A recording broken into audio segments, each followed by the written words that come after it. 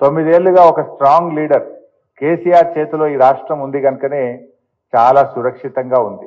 కర్ఫ్యూలు లేవు అల్లర్లు లేవు కరెంటు కోతలు లేవు తాగునీటి తిప్పలు లేదు. ఇవాళ ఈ రాష్ట్రం అనేక రంగాల్లో అభివృద్ధిలో చక్కగా ముందుకు దూసుకొని పోతా ఉంది.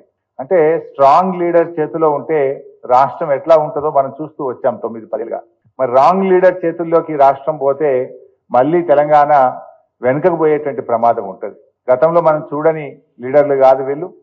కేసీఆర్ ఏంటంటే తను తన ప్రాణాన్ని సైతం లెక్క చేయకుండా ఒక రాష్ట్రాన్ని సాధించినటువంటి నాయకుడు. అంటే రాష్ట్రం పట్ల పద్నాలుగేళ్ళ పాటు ఒక సుదీర్ఘమైనటువంటి పోరాటం చేసినటువంటి ఒక ఉద్యమ నాయకుడు గనక తనకుండేటువంటి తపన తనకు ఈ రాష్ట్రం మీద ఉండే పట్టుదల ఈ రాష్ట్రం మీద తనకుండే ప్రేమ ఇంకొకరి చేతుల్లో ఉండదు.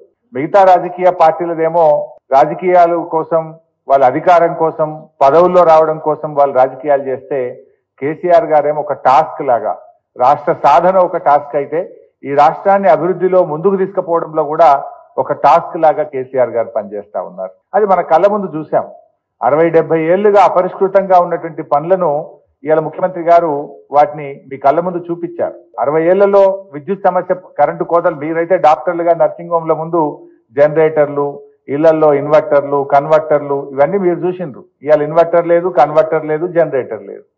ఈ రోజు ఎక్కడ కర్ఫ్యూలు లేవు అల్లర్లు లేవు మత కలహాలు లేవు. దేశమంతా ఏమవుతుందో మీకు తెలుసు.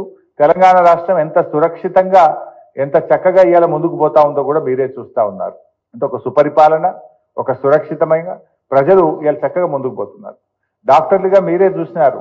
ఆ రోజుల్లో ఎంబీబీఎస్ చదవాలంటే మన పిల్లలు చైనాకు ఉక్రెయిన్కు రష్యాకు పోయేటువంటి పరిస్థితి ఉండేది. ఇవాళ మన పిల్లలు పక్క రాష్ట్రాలకో పక్క దేశాలకో పోవాల్సిన అవసరం లేదు. మన రాష్ట్రంలోనే మన పిల్లలు చదువుకునేందుకు పెద్ద ఎత్తున ఇవాళ మెడికల్ కాలేజీలు పెట్టాం. ప్రతి జిల్లాకు ఒక ప్రభుత్వ మెడికల్ కాలేజ్. అంటే ఇవాళ మీరే ఆలోచించండి. ఇవాళ కొంతమంది లీడర్లు ఉంటారు. పొద్దున్న లేవగానే ఒక ప్రెస్ మీట్ పెడతారు. వాళ్ళు నోటికి వచ్చినట్టు మాట్లాడతారు. సెన్సేషన్ కోసం మాట్లాడతారు. ఇవాళ రేపు కొంత మీడియా హౌసెస్ కూడా ఎట్లా ఉంటాయంటే ఒకరిని బాగా తిడితే అది పొద్దున్న దాకా బ్రేకింగ్ వస్తుంది. ఒక మంచి పని చేస్తే అది ఒక లైన్ స్క్రోలింగ్ కూడా రాదు. ప్రజలకు సమాజానికి పనికొచ్చే ఒక మంచి పని మనం చేస్తే అది వెతుకుదామంటే తెల్లారి పేపర్లో ఆర్టిక ఐటమ్ కనబడదు తక్కువ కనబడుతుంది ఎక్కడో ఉంటే మూలకు ఉంటుంది లేకపోతే ఉండదు.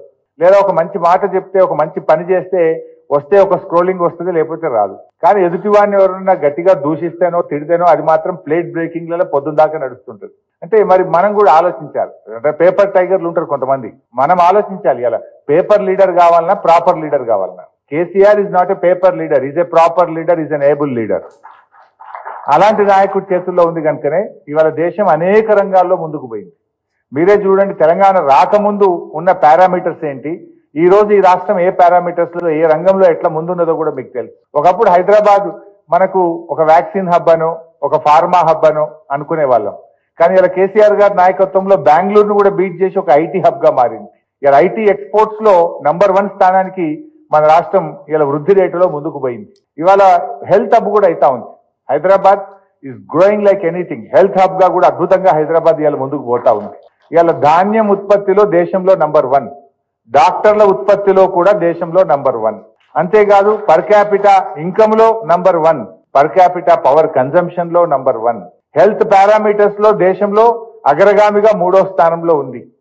మదర్ మోర్టాలిటీ రేట్ తగ్గింది చైల్డ్ మోర్టాలిటీ రేట్ తగ్గింది. ఐటీ ఎక్స్పోర్ట్స్లో నంబర్ వన్గా వెళ్ళాం. ఇలా అనేక రంగాల్లో ఈ తెలంగాణ అద్భుతంగా ముందుకు పోయింది.